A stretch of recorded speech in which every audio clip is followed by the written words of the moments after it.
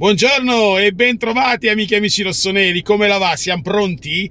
Dai che manca veramente poco all'inizio di questa guerra, di questa battaglia. Dovete sapere che ogni volta che comincio a fare un video, puntualmente mi squilla il telefono, o mi squilla il telefono, o mi interrompe qualcuno, e, e, e poi volano le imprecazioni in maniera allucinante. So che non me ne può fregare di meno, però è la sesta volta che riprovavo comunque a rifare il video questo proprio per il discorso che io lavoro in diretta con le notizie poi eventualmente aggiornate del giorno stesso. Qualcuno oggi mi ha chiesto per l'ennesima volta, ma perché tu fai sempre video in macchina? È diventata quasi stucchevole questa cosa. A parte che il mio format è questo. Punto uno. Punto due, io non ho la fortuna di poter rifarle sempre a casa, però se mi seguiste veramente capireste che io li faccio anche a casa, li faccio anche all'aperto nel giardino dove va di là. Il 90% però sono in macchina per ovvi motivi lavorativi, perché ho la fortuna come gli altri youtuber magari che possono permettersi di farli a casa perché lavorano da casa a quanto pare. Oppure come altri che li registrano la sera prima e li fanno passare per quelli della mattina. Io no, io faccio tutto in diretta. Se quello delle, è quello delle 10, l'ho fatto alle 10 meno 5. Se è quello di mezzogiorno, l'ho fatto a mezzogiorno meno 5. Questo è, questo è bello la diretta. Oggi facciamo un po' di polemica, sì, una polemica pre-partita, perché finalmente ho trovato qualcuno eh, che è d'accordo con me. Di cosa parliamo? Parliamo di, eh, dell'agente, dell'agente FIFA Sabatino Durante, no? Che bene o male rispecchia la mia filosofia, voglio sapere anche se è la vostra filosofia, che riguarda Giroud. Secondo Sabatino Durante, il tempo è maturo per Giroud, non per restare, per andare. Attenzione, ora non cominciate a inveire, seguite bene il discorso perché ehm, anche lui è convinto proprio del fatto che il Giroud ehm, non debba rinnovare, perché dice quando un giocatore raggiunge i 30-34 anni, a meno che non sia la storia di quella squadra, per lui è out, ok? Soprattutto per un campionato come quello italiano che ha bisogno di rilanciarsi.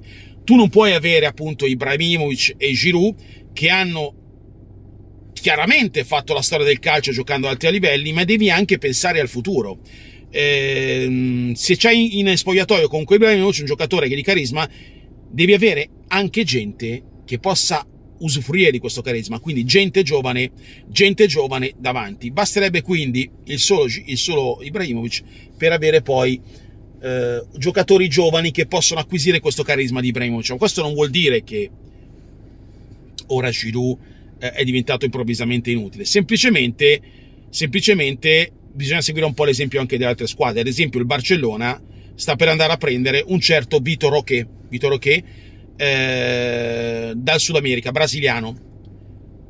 E questo è un nome eh, dei tanti, come, come, ad esempio anche l'Inter ha fatto un grosso errore andare a, a riprendere Lukaku, aveva già Zeco, che era l'uomo di esperienza, l'uomo della squadra, poteva puntare su un, su un Alvarez, come poteva fare benissimo che gli garantiva un tot di, di, di gol sicuramente e che avrebbe potuto rivendere poi una cifra esorbitante, perché c'è anche questo da dire, signori. Perché il campionato italiano si sta riempiendo di cariatidi, si sta riempiendo di, di, di, di di cariati, di, giocatori anziani, di giocatori quasi a fine carriera. Stiamo diventando come il campionato turco o il campionato greco. Siamo allo stesso livello, ragazzi. E non è questo il modo per rilanciare il calcio italiano, perché noi dobbiamo rilanciare il calcio italiano. Il calcio italiano come si rilancia? Credendo nei giovani, valorizzando i giovani e acquisendo anche giovani. Invece ci andiamo a prendere veramente o cariatidi o giocatori a fine carriera che sono comunque, che sono comunque per loro ancora validi perché comunque vengono a giocare in un campionato in questo momento inferiore. Noi per rilanciare le squadre, signori, gioca, serve poco niente. Per questo che durante dice eh, Giroud out, ok? E il Milan dovrebbe pensare al futuro. Il Milan deve pensare in questo momento al futuro, ma come anche le altre squadre italiane, non tutte, perché il Milan in particolare comunque continua a pensare a a giocatori di una certa età, come vi ho detto anche stamattina, il giocatore svincolato a zero che si vincola dal Tottenham ha già 31 anni e il Milan sarebbe intenzionato solo perché è un parametro zero. Chiaro, perché il giovane comunque deve investire. Il Milan non è che non ha investito sui giovani, e questo siamo d'accordo, perché comunque ha investito su eh, Malicciao, ha investito su, su Branch, ha investito su, a suo tempo su Calulu, eccetera, eccetera. Però lì davanti il problema è importante. Invece si pensa più che altro a, a discutere e a trovare la quadra per rinnovare Giroud a quasi 4 milioni di euro l'anno. Bisogna avere anche un po' il coraggio, secondo me, a un certo punto, di fare determinate scelte, bisogna andare, bisogna andare avere, avere, il coraggio di andare a cercare prendere il coraggio e le capacità di andare a prendere giocatori come quello che vi ho citato, eh, il famoso Roquet, come cavolo si chiama?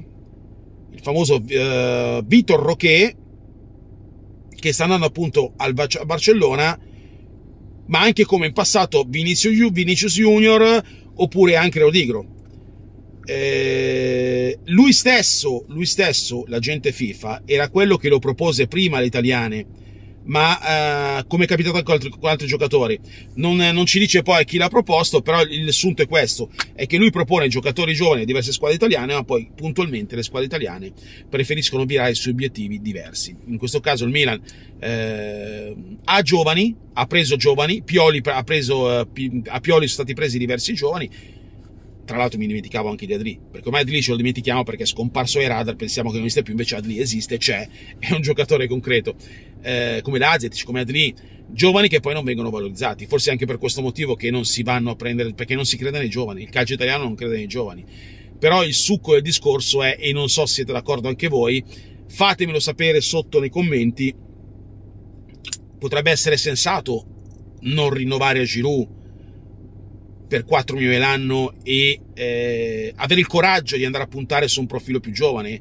Lasciamo stare con quali soldi, perché un, un Victor Roquet non costava 40 milioni di euro, ok? Se vuoi i giovani li trovi e anche a prezzo contenuto, ma ci devi credere.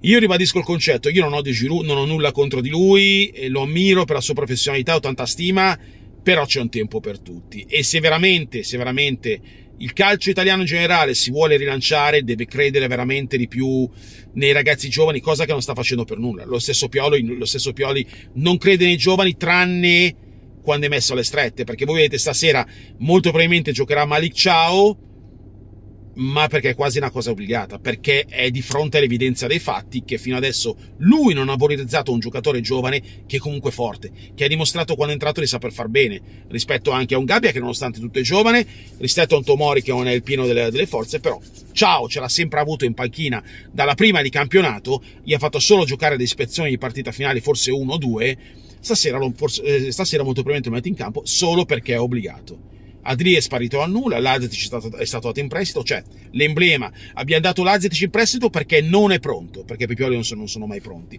perché non è pronto, ma abbiamo tenuto un Giroud e un Eurighi che è inesistente, è un Giroud che è un giocatore, un calciatore che in un'annata ti può garantire al massimo 8-10 gol, ma non, sta, non, è un ventenne che sta andando verso il pieno della carriera, è un 36enne che sta andando verso il fino carriera.